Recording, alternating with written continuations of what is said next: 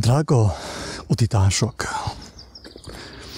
igazságszeretők és igazságkereső embertársak. Ma reggel arra jöttem, hogy jó volna egy néhány szót ejteni az angyalokról, meg a beszélő állatokról, meg más olyan dolgokról is, amelyek úgymond számunkra természetfelettiek. Tehát amelyek számunkra ugye nem szokványosak, nem mindennapi jelenségek. Mert valljuk be azt, hogy az, hogy egy állat megszólal, emberi nyelven beszél, az nem egy hétköznapi jelenség. Márpedig a írásban is olvashatunk arról, hogy vannak olyan példák, amikor az állat úgymond emberi nyelven megszólalt, és próbált közölni valamit az emberrel. Ahhoz, hogy ezt a témát megértsük, úgy gondolom, hogy fontos egy néhány szót ejteni a hazugságról.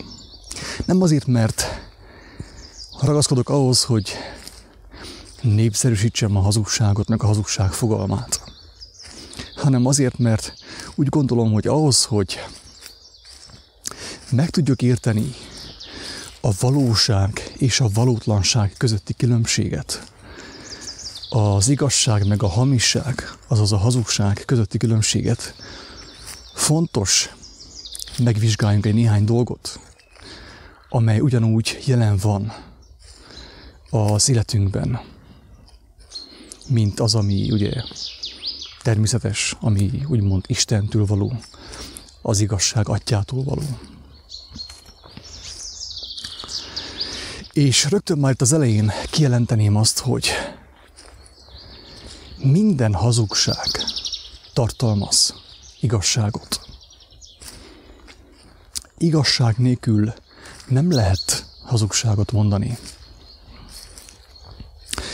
Hogyha valakit becsapnak, valakit félrevezetnek egy ilyen New Age tanfolyamon, tegyük fel, vagy egy dokumentumfilmmel, vagy bármilyen más propagandával, bármilyen más információval, ami megtalálható az interneten, ugye? A világhálón, hangsúlyozom, a világnak a hálóján, tehát a világ hálójában, a Facebookon, a Youtube-on, a Duma televízióban, és így tovább, és így tovább. Tehát minden hamis információ, minden hazug információ, ugye ez súlyosabb kifejezés, hogy hazug információ, tartalmaz igazságot. Vannak igazság elemei, sőt, ahogy az előbb is mondtam, igazság nélkül nem lehet hazugságot építeni. Nem lehet hazugságot mondani. E kép bármilyen furcsán hangzik. El kell mondanunk azt, hogy, hogy úgy igazából a világ minden hazugságát, ami létezik, és ami elválasztja az embert az ő teremtőjétől, az ő édes atyától, a Bibliában kijelentett igazságokra építettek, épített fel az ember, az emberiség. Nem a Bibliára, hanem a Bibliában is kijelentett igazságokra. Tehát az igazságot megfogja az ember, a gyarló emberi természet, és saját hasonlatosságára formálja, alkotja. Ez a hazugság. És ekép megfordul a teremtés iránya, és az történik, hogy az élőből halott lesz. Hello, drága utitárs. Érthető, amit mondok? Nem amit mondok, hanem ami mondatik. Nem az én érdemem. Ha van bennem valami igazság, az teljes mértékben a mindenható Isten dicsősége, az ő érdeme. Ha dicsekszem, akkor azzal dicsekszem, hogy volt alkalmam megismerni a mindenható Isten kijelentéseit, valamelyest, a Krisztust, az ő tanításait. Hogyha az ember elkezd úgymond Isteneket alkotni a saját hasonlatosságára, Isten képzeteket alkotni, ellenség képzeteket alkotni a hasonlatosságára, a saját hasonlatosságára, akkor megfordul a teremtés iránya. Már pedig a teremtés iránya az arról szólt, hogy a halott anyagból élő lett. A halott anyagot a mindenhatónak a lelke megelevenítette, úgy volt kedves neki a saját maga szórakoztatására, saját örömére tette ezt, a halottból élőt teremtett. Ez volt Istennek a terve, a tökéletes terve, amiben élet van, és nem csupán élet, hanem ami azzal jár. Az élet felejárója, az élet öröm. Ez volt a mindenható terve. A halott anyagból élőt kovácsolt. És mint tudjuk, a terv része, a tervnek fontos részét képezte az, hogy az ember örökön fog élni. Nem fog meghalni. A halált nem, képzel, nem képzelt el a mindenható, nem akart ő halált nemzeni, hanem ellenkezőleg a halott anyagot megelevenítette, lelket lehelt belé, az ő lelkét lehelte bele, és így lett az ember és minden más élőlény. Az ember is elvileg azt kéne csinálja, mivel hogy a mindenható hasonlatosságára van teremtve, teremtetett, ugye, hogy, hogy ami holt, ami halott, ami beteg, azt is megelevenítse. Ez volna a mi dolgunk, a te dolgod is. János, Géza, Gyöngyvér, Pistike, Attila. Drága embertársak, a te dolgod is az volna, amit az Úristen teremtett, amit ő művelt, mert az ő hasonlatosságára vagyunk alkotva. A holtat is meg kellene elevenítsük. Nem, hogy megöljük, hanem meg kéne elevenítsük azt. Ezzel szemben az elbukott ember, a gyarló ember, arra most nem fog kitérni, hogy nincs idő, hogy arra megint kitérjek, hogy hogy bukott el az ember. De akit érdekel, úgy is megtalálja, akit nem érdekel, aki csak az én szavaimra hagyatkozik, teljesen biztos, hogy el fog bukni. Nem fogja meglátni az élet szerzőjét, az Úristen dicsőségét, Isten országát. Ezer százalékos, hogy aki csak az én szavaimra hagyatkozik, és aki nem telik meg az igazság szerelmével, nem fogja meglátni Isten országát. Ilyen szempontból azt kell mondjam, hogy zárójelben, hogy azok a személyek, akiknek volt alkalmuk szerelmes lenni fiatalkorukban, egy kedves hölgybe, kedves lányba, egy fiatal legénykébe, és volt alkalmuk meglátni, mi az, hogy szerelem, bolond szerelem, a szerelem nem gondolkodik, hanem cselekszik, adja azt, amilyen van, odaadja másiknak, ajándékba. Az ilyen személyek talán könnyebben meg fogják majd érteni azt is, hogy hogyan lehet a mindenhatót megismerni, hogyan kell bele is úgymond szerelmes lenni a Krisztusba, az ő kijelentésébe, ugye? És teljesen biztos, hogy meg fogják ismerni az ő teljes dicsőségét, a mennyek országát. De térjünk vissza a lényegre. Ott tartunk, hogy az ember a teremtés irányát megfordította. A teremtés iránya az volt, hogy a holdból, a halottból, a halott anyagból élőt csinált. Az ember az élőből csinál holtat. Hogyha valaki ezt nem hiszi, az kapcsolja be a televíziót, és még tévézen egy darabig. Facebookozzon, Youtubeozzon, és meglátja, hogy ez így van. Hogy az ember, az elbukott ember, a sátáni természetű ember nem tesz mást, mint hogy megfordítja a teremtés irányát, és az élőt gyalázza, az élőt tönkreteszi. Ezt teszi az ember. Ott tartottunk, hogy a hamisság szelleme, a hazugság szelleme, a megtévesztés szelleme, a tudatlanság szelleme, az Istentől elszakadt jellem, amit sátánnak mondanak az írásban, azt csinálja, hogy megfogja az igazságot, ismeri az igazságot. Megismerte azt valamelyest. És azt, amit megismert, megfogja, felhasználja, eltorzítja. Ezért mondtam azt, hogy a legtöbb hazugságot, a legtöbb megtévesztést, manipulációt, hatalmat, emberek fölötti hatalmaskodást, gyilkosságot a Bibliára építettek. Miért? Azért, mert tényleg az igazságról tesz bizonságot a Biblia.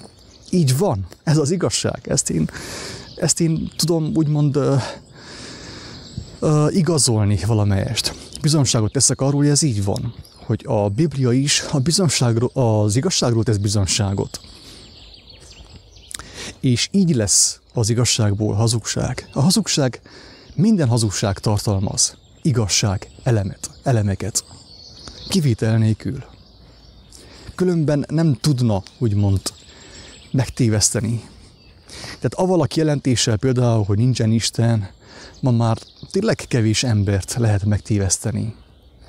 Tehát nagyon kevés ember van azon a, mondjam azt primitív szinten, ha szabad így fogalmazni, hogy azt mondja, hogy nincs Isten. Tényleg az, az nagyon le van már butítva.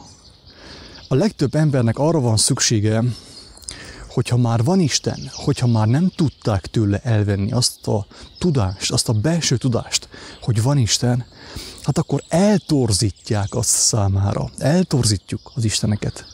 Úgymond Isten, bocsánat. Az Istennek a valós képét eltorzítjuk. Ez a bálványimádás.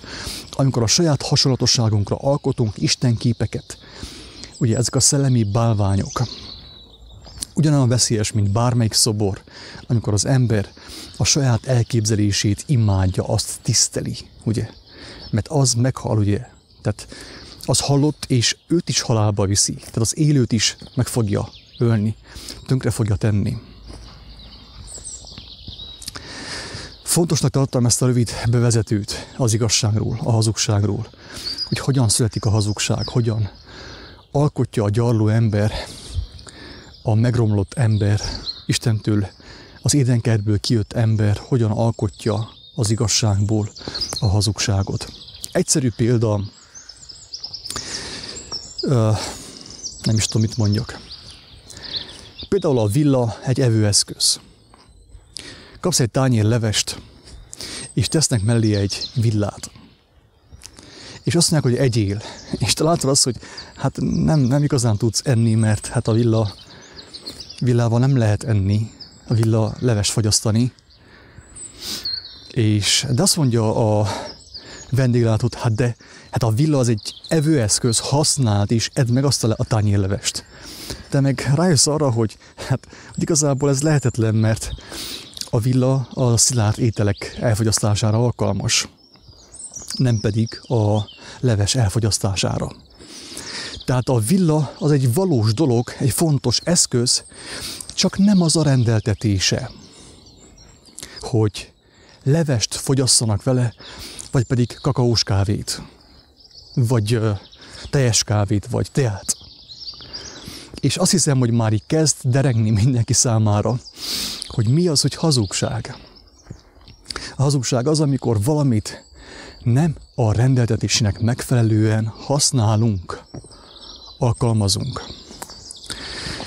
A mai téma az, hogy beszélő állatok, angyalok, manók, szellemi lények, társaik.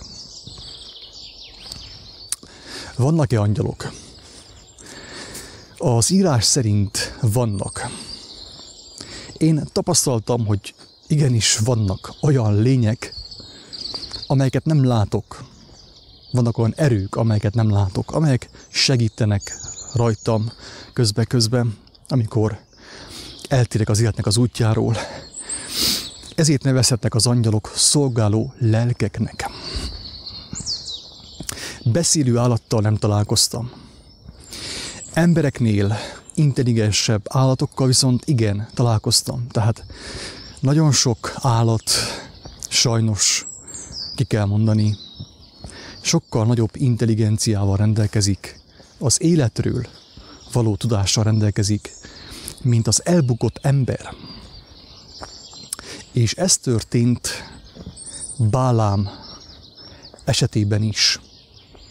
Bálám egy nem akárki volt, ő egy ő az Isten igazságának, Isten igazának az ismerője volt. Értelmes ember volt, bölcs ember volt. Talán egy akkori filozófus, ha lehet így fogalmazni. Aki nagyjából vágta, hogy mi az élet rendje, mi az Úristen elképzelése. Viszont mi történt Bálámmal? Ugye Bálák, az ellenség, arra kérte őt, hogy átkozza meg a saját népét.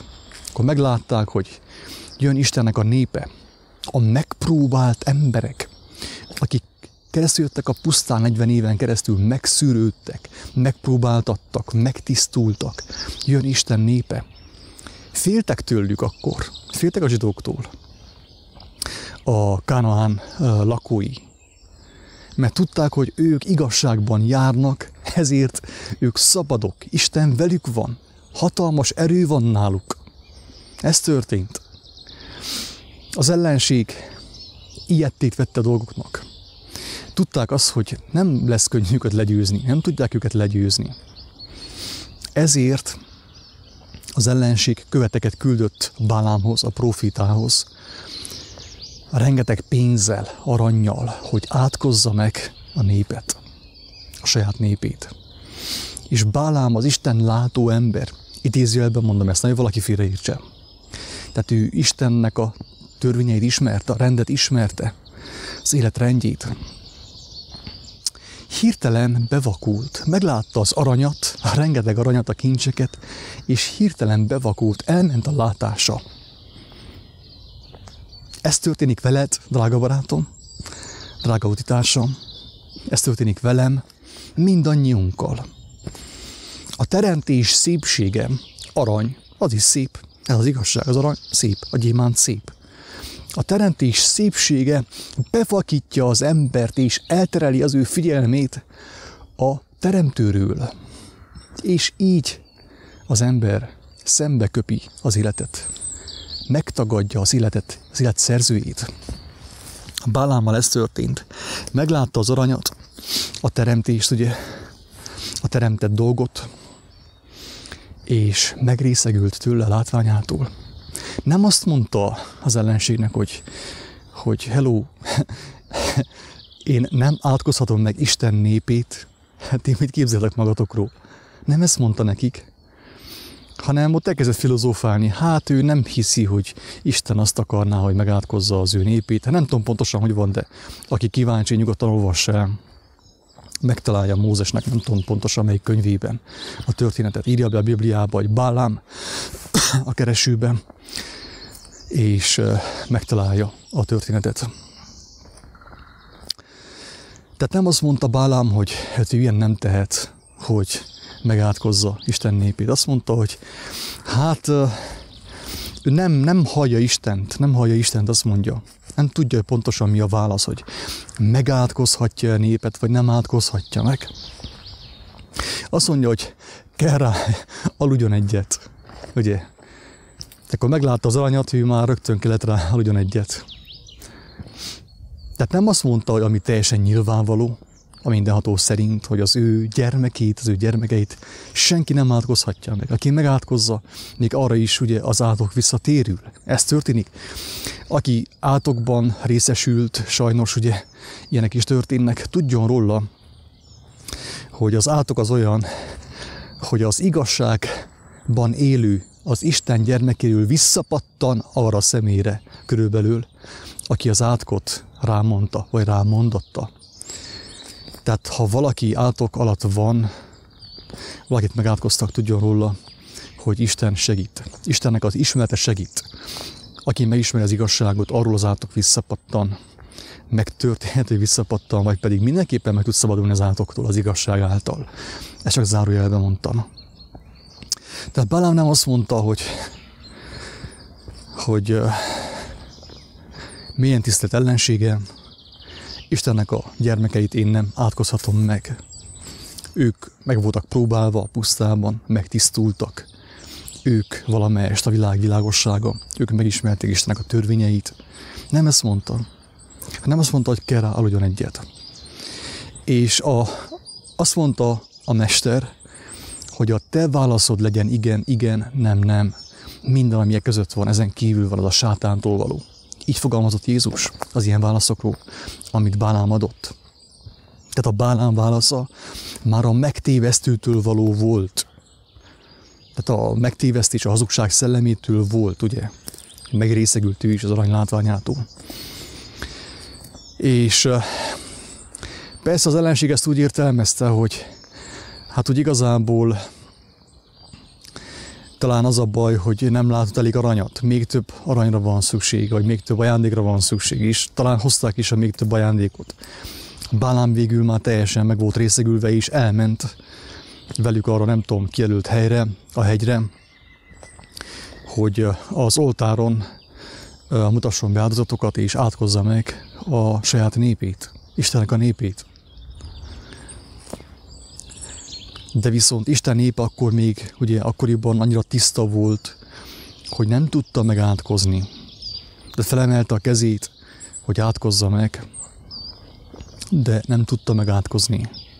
Sőt, átok helyett, nem is tudom, háromszor talán áldást mondott. Tehát az átok helyett áldás jött ki a száján.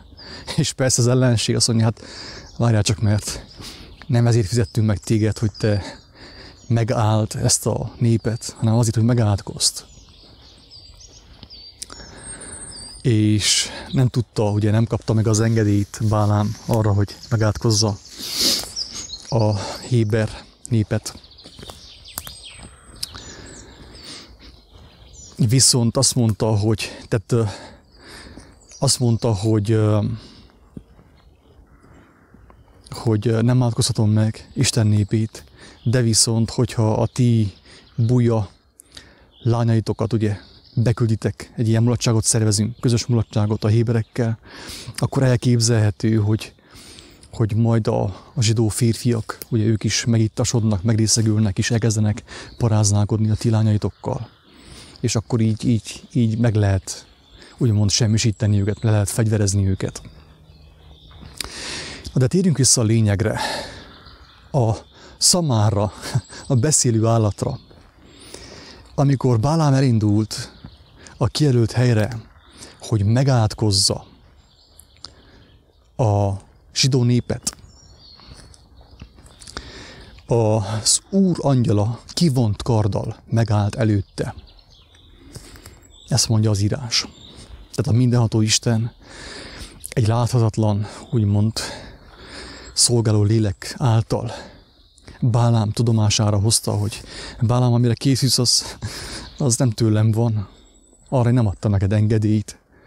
Az élet ellenes cselekedet, ugye bűn, amit most tenni próbálsz. Tehát Istennek az angyala kivont karddal megállt előtte. De mi történt Bálámmal? Semmi. Az történt, hogy észre sem vette, nem látta meg. Nem látta meg az Isten angyalát. Miért? Azért, mert be volt vakulva a vagyon, a földi dolgok által, amelyet felkínált számára az ellenség. Be volt teljesen vakulva, de a szamár látta, és megállt. Nem akart tovább menni. és persze Bálámot fűtötte a, az arany szeretet, ment volna tovább, és elkezdte ütlegelni a szamarat, hogy menjél te, semmire való állat. És a szamár nem akart tovább menni, mert ő látta Istennek az angyalát kivont karddal. És addig ütlegelte őt Bálám, hogy egyszer a szamár megszólalt, hozzászólt emberi nyelven, hogy még meddig ütlegelsz engemet, gazdám, hát nem látod, hogy ki áll előttünk? De Bálám ezt nem látta. Miért nem látta? Be volt vakulva, éppen úgy, mint én, te és mindannyian. A teremtett dolgok látványa által bevakultunk, a lényeget szem elől tévesztettük, bűnösök ki, céltévesztettek váltunk. Nem látjuk a lényeget, nem látjuk Istent, az élet szerzőjét. Elakadt a tekintetünk a teremtett dolgokon, az aranyon, a földi a test kényelmén, a földi jóléten, ugye, a jól berendezett uh, emeletes házikón, a mulatozáson, a jó társaságon, a pénz szereteten, a testi örömökön elakadt a tekintetünk, és nem látjuk mi sem az Úr angyalát. Pontosan úgy, mint Bálám. A pénz szeretete, de nem csupán konkrétan a pénz. Nagy valaki azt gondolja, hogy hogy jaj, hát ő neki nincsen pénz, és akkor ő biztos szent ember, ő jó, jól van Istennel, de hogy van jól Istennel. Legtöbb ember, legtöbb ember, legtöbb szegény ember rosszabb állapotban vannak gazdagok.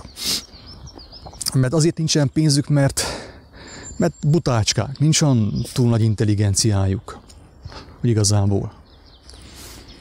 És hogyha volna pénzük, akkor, akkor tönkre mennének általa. Tehát nagyon sok szegény ember csak azért nem gazdag, azért nincsen pénze, azért nem pénz szerető látszólak, mert nem teheti meg, mert nem tehető, sincs hozzá intelligenciája. Tehát a pénz szeretete úgy igazából nem csak azt jelenti, hogy hogy azt szeretem az aranyat, meg a dollár, meg az eurót, hanem az, hogy, hogy szerelmes vagyok a földiekbe, a földi dolgokba.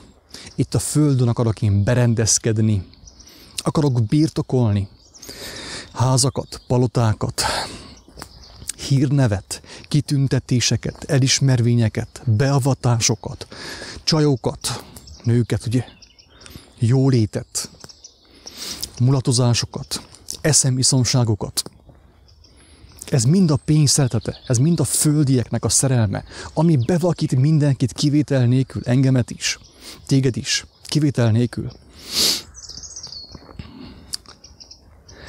És eltereli a figyelmünket a lényegről, az élet szerzőiről, aki életre szólít bennünket, aki azt mondja, hogy ez amúgy is már mind a tiéd, amit itt látsz, mind a tiéd, de ennél sokkal többet kínál, kínálok számodra sokkal többet adok számodra. De te nem tudod meglátni, mert te összeláncoltad magadat a pénzeddel, a hírneveddel, az autóddal, a vagyonoddal, a feleségeddel, a gyermekeiddel, a vagyon tárgyaiddal, tehát mindennel, amit birtokolni akarsz. Mindenem a tiét, mert azért teremtettelek, hogy örökös légy, ugye?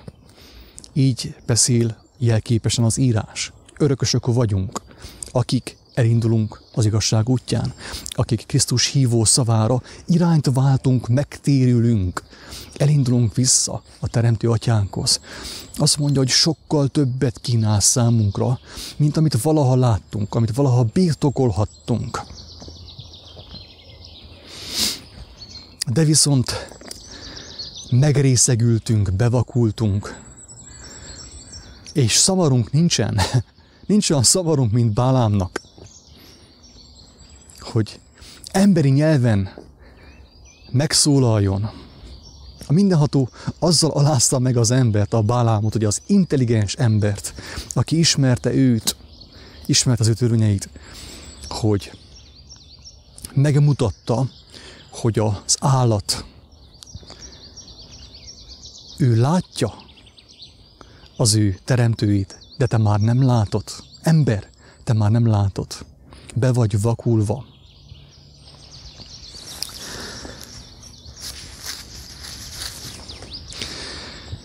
A kérdés az, hogy miért beszélünk beszélő állatokról, angyalokról, szellemi lényekről, meg mit tudom manókról, meg társairól. Miért érdemes szót ejteni erről a témáról? Tehát Istennek minden lehetséges. Ő az élet szerzője. Ő a halott anyagból teremtette az embert, az életet. Ezt nem szabad elfelejtsük. Hogyha neki úgy kedves, akkor, akkor a kígyó beszélni tud, megszólal. Akár a szamár is megszólal. Ha Istennek úgy kedves. Én nem láttam ilyent, de nem mondom azt, hogy ha Isten úgy akarja, akkor ez nem lehetséges. Istennek és Isten gyermekének, mint tudjuk, minden lehetséges. Ennyire egyszerű az egész dolog. Nem mondom azt, hogy nincsenek angyalok. Én nem láttam így angyalt. Ember formájában láttam olyan személyeket, akik segítő lelkek voltak, akik engemet is segítettek, és segítenek abban, hogy közelebb kerüljek az igazságnak a szerzőjéhez, az élet szerzőjéhez. Ilyeneket láttam, ilyen angyalokat láttam, testi angyalokat.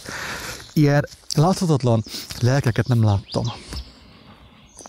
Volt, aki látott ilyen szellemeket, démonokat, én nem láttam. Egyszer voltam testen kívül, és egy láthatatlan entitás belém került. Erről korábban is szóltam már, volt egy ilyen élményem, amiről akkor nem tudtam, hogy mit jelent, most már tudom. Nem láttam akkor sem, de viszont egyértelmű volt, hogy nem én vagyok már az, aki azokat a szavakat mondja. Testen kívülről láttam magamat, úgymond, és láttam, amint egy másik erő, egy másik intelligencia teljesen átveszi az irányítást rajtam, a testemen. De fizikailag nem, nem láttam. A kérdés az, hogy, hogy ha már léteznek, akkor kell-e nekünk velük foglalkozni? Azért teszem fel ezt a kényelmetlen kérdést, mert látom, hogy nagyon sokan foglalkoznak velük. Az angyalokkal, meg a különböző szellemi lényekkel, halottak szellemeivel, társaival. A rövid válasz a kérdés az, hogy nem. Azért nem, mert a profiták által a mindenható megmondta, hogy ne foglalkozzunk. Halottakat ne idézünk, szellemi idézőköz ne menjünk, jövendő mondokhoz ne menjünk, mert ezáltal a halált választjuk, szó szerint. Bárki, aki ezt cselekedte eddig élete folyamán, jövendőmondóhoz ment, jósnőhöz ment, szellemidézőhöz ment, netán szellemidézéssel foglalkozik, vagy foglalkozott, tudjon róla, hogy meg van fertőzve az ő élete, és most jelen pillanatban is a halál felett tart, hogyha nem fordul Istenhez, aki az ő jóságos erejével, az ő irgalmával tudja semlegesíteni számára azt a tévedést, amit ő elkövetett, meg tudja neki bocsájtani azt, és be tud zárni a kapukat, amelyeken keresztül olyan erők jönnek rá, olyan tudományok jönnek rá, amelyek őt elviszik a temetőig, egész pontosan temetőig, és a lelkét viszont a kárhozatba. Ezt csak zárójelben mondtam. Itt még a kedves kis szülővárosomban is szerveznek ilyen angyal tanfolyamokat. Karácsonykor ilyen angyal tehát ilyen angyalokkal kommunikálnak meg. Én is láttam ilyen könyveket, nem olvastam, nem foglalkoztam velük. Tudom, hogy vannak. Vannak ilyen tanfolyamok, az embereket tanítják szellemeket idézni. Úgymond, hogy médiumok legyenek, ilyen jövendő mondók legyenek. De ez mind halál. Aki most nem hiszi el nekem, amit mondok, meg fogja majd látni sajnos. Jobb annak, aki nekem elhiszi, mint hogy a saját bőrén tapasztalja meg, hogy mi az ára annak, hogy valaki játszmázik hogy valaki úgymond belemegy az ilyen játékokba, hogy angyalokkal beszélgetünk, meg szellemekkel, és nem ismeri azt, hogy, hogy Isten nem ok nélkül mondta, nem ok nélkül tett, úgymond, tehát zárt el a két világot egymástól. Ő ezt okkal tette, okkal cselekedte. Ennek ellenére vannak angyalok, teljes meggyőződésem. Olyanok is, amiket én nem látok. Ilyen angyalok is vannak. Szellemi lények. Mit lennének. Nyugodtan lehetnek. Nem foglalkozok velük. Sokan azzal büszkélkednek, hogy, hogy egy angyal megjelent nekik, és ezt és azt mondta. Meg hogy van egy ilyen védő angyalok, akikkel, akivelük kommunikálnak. Még van emberrel nem találkoztam, aki azt mondta, hogy van neki egy lova, vagy egy szamara, vagy egy zebrája, akivel beszélget, amikkel beszélget. De viszont olyan személyekkel találkoztam, akik úgymond angyalokkal, szellemi lényekkel kommunikálnak. És erre a, a válasz, amely nekem lélek által adatot ma reggel, erre ébredtem szó szerint, erre ébreszett az Úristen, hogy erről beszéljek. Az a válasz, hogy a mindenható terve amúgy is teljesen nyilvánvaló, teljesen nyilvánvaló. A mindenható most is ott van melletted, benned, körülötted, mindenhol jelen van. És elméletileg a mi dolgunk az lenne, hogy benne létezzünk, ahogy Jézus mondta, a szél fú, ahová akar, annak zugását hallod, de nem tudod, merő jő és merre megy.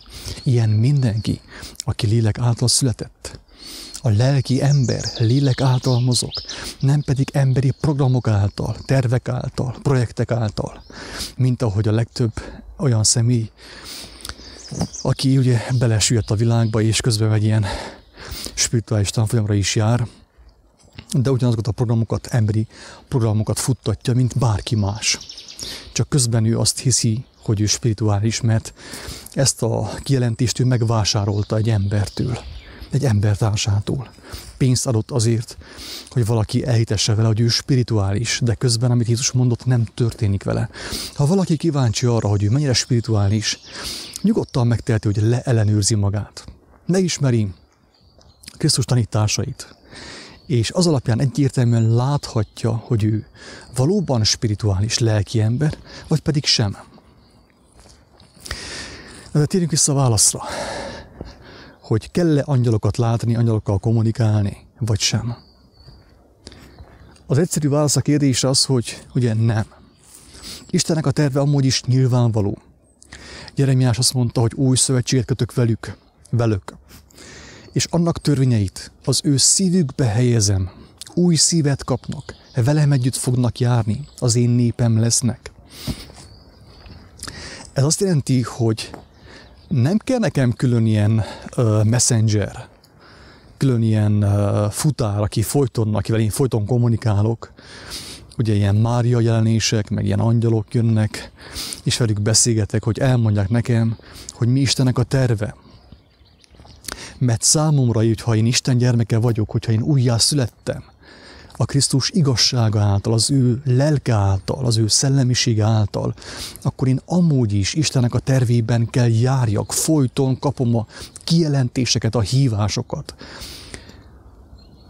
a, a küldetéseket is. Egyfolytában kapom, én benne vagyok, benne kell járjak. Tehát a kérdés az, hogy miért lenne nekem szükségem angyalra? Vagy beszélő szamára, beszélő kigyóra, meg beszélő elefántra? Miért lenne szükségem?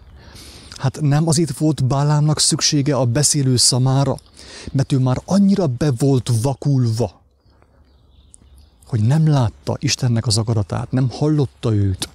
És a szamár szegény meg kellett szólaljon, hogy felhívja Bálán figyelmét, hogy óriási bajban vagy. Tehát, hogyha valaki angyalokat lát, ilyen szellemi lényeket lát, még hogyha Istentől is van az, tegyük fel, akkor is, hát miért volt neked erre szükséged? Miért van neked erre szükséged? Tegyük fel, hogy, hogy kaptál nagyon komoly látomást, nagyon komoly álmot, megérzést, kijelentést, ami arra ösztönzött, hogy Istenhez fordulj. De hogyha már Istenhez fordultál, hogyha netán megkaptad az újjászületés ajándékát, kegyelmi ajándékát, és te még mindig angyalokkal akarsz kommunikálni, meg szellemekkel, elképzelhető, hogy mi ketten nem egy Istenről beszélünk.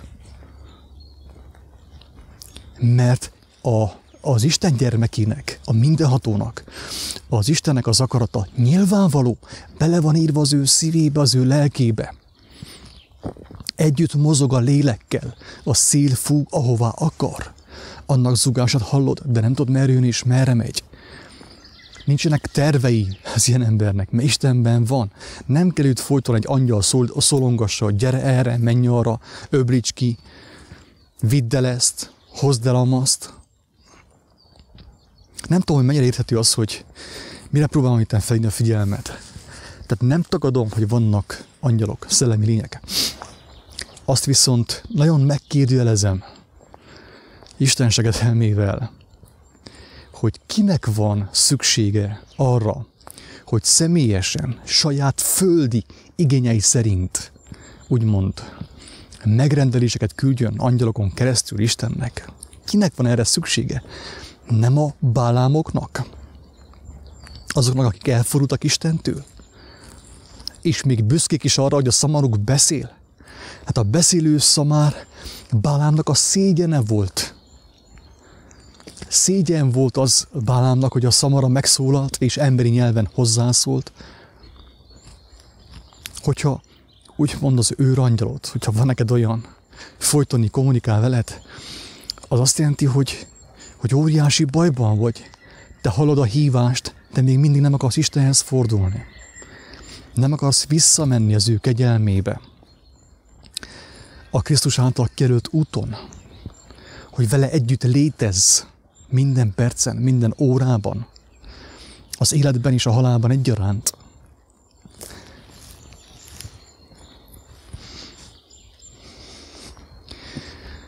A teremtő nem rejtőzködik előlünk, nem rejtette el az ő akaratát. Bárki, aki keresi őt, megtalálja, hallani fogja az ő hangját, tudni fogja, mit kell csináljon, mit kell elengedjen, mit kell elhagyjon a régiből, és mit kell megszerezzen az újból.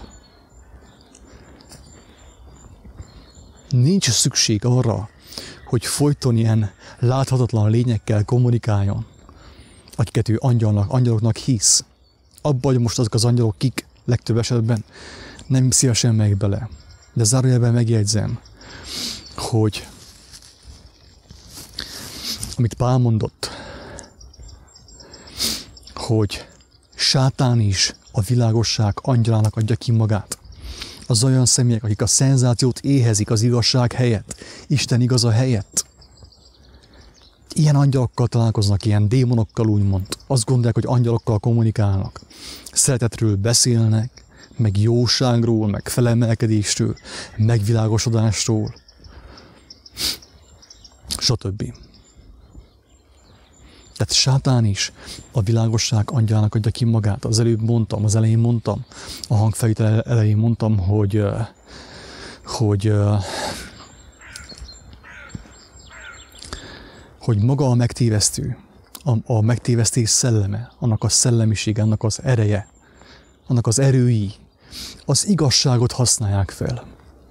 Tehát az angyal az létezik, a, hogy mondjam, annélkül, hogy tudnánk róla, sokszor angyalok segítenek. Teljesen elképzelhető. Nekünk.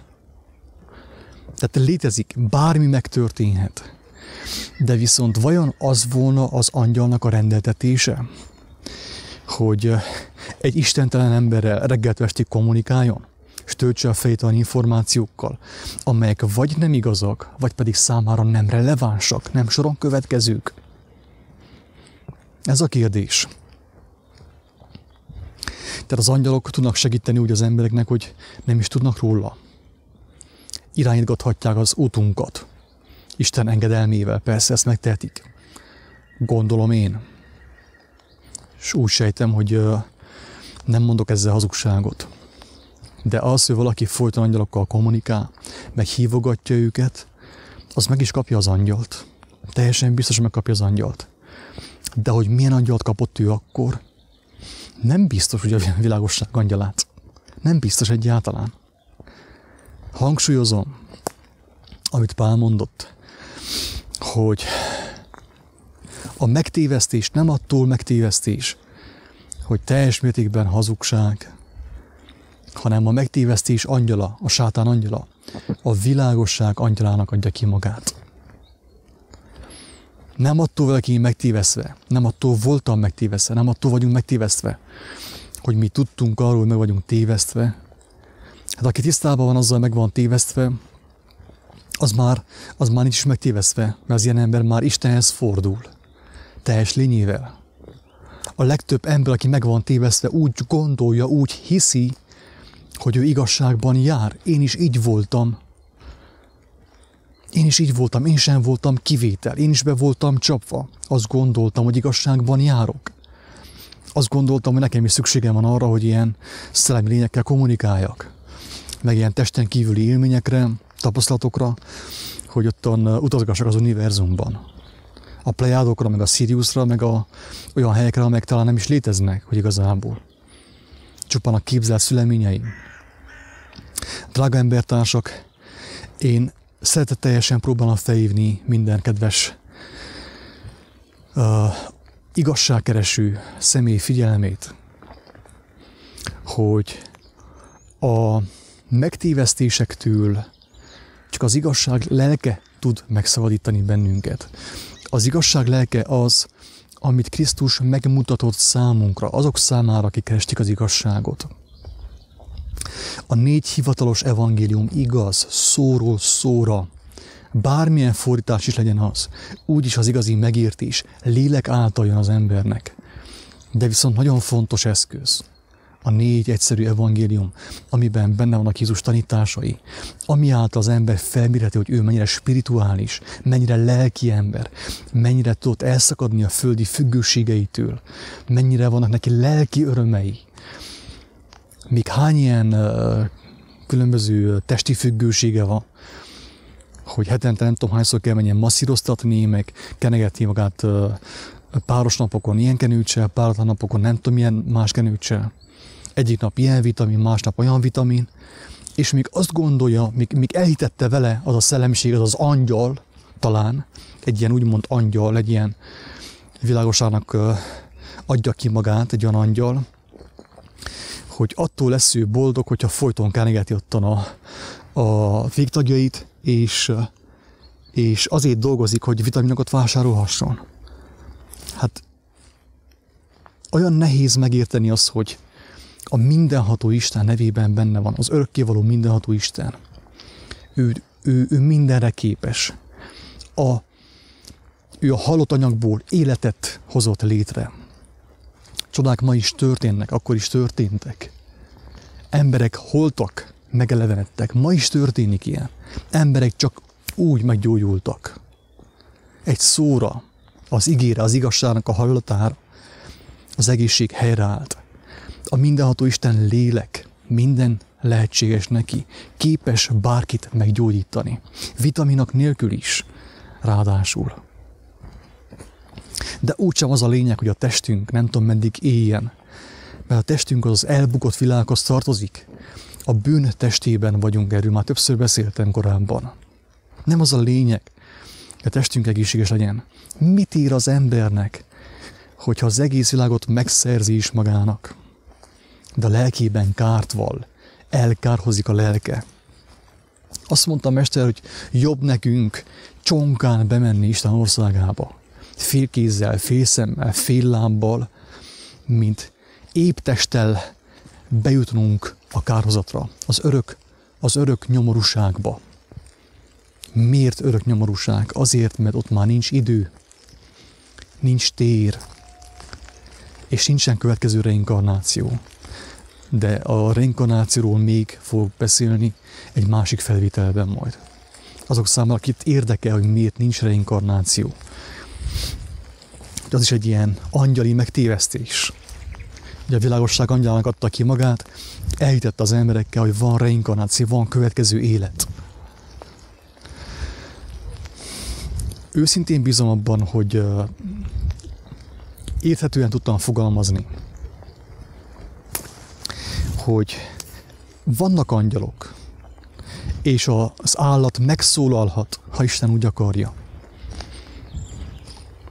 De nem az az ő rendeltetésük, hogy, hogy a szamár, ugye so, sokan pont emiatt, a Bálám szamara miatt, meg Jézusnak a szamara miatt a, a szamarat kezdték tisztelni, hogy a szamár szent állat, mert ő vitte be a megváltót a Jeruzsálembe.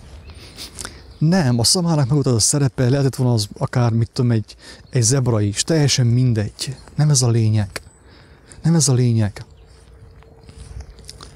A szamának nem az a rendeltetése, elnézést, hogy emberi nyelven kommunikáljon az emberekkel, a süket emberekkel, a bevakult emberekkel. Ez megtörténhet.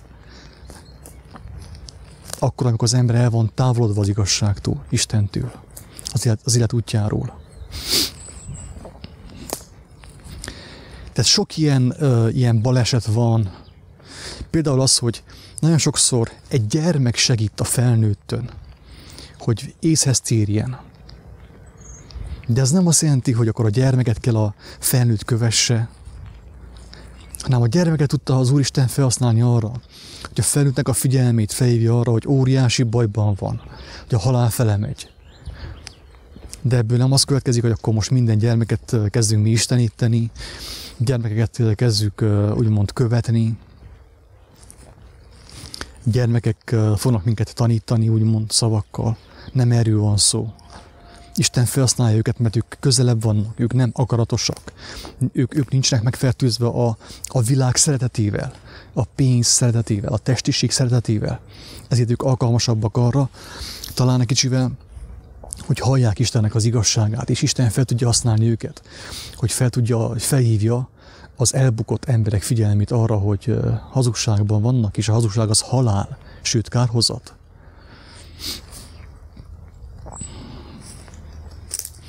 Tehát, hogyha valaki ilyen angyaltan folyamokra jár, ilyen angyalokat idéznek meg minden, ne, nem is azt javaslom, ezt már többször mondtam, én nem azt javaslom, hogy valaki nekem higgyen, engemet kövessen. Nekem nincs szükségem erre, hála Istennek.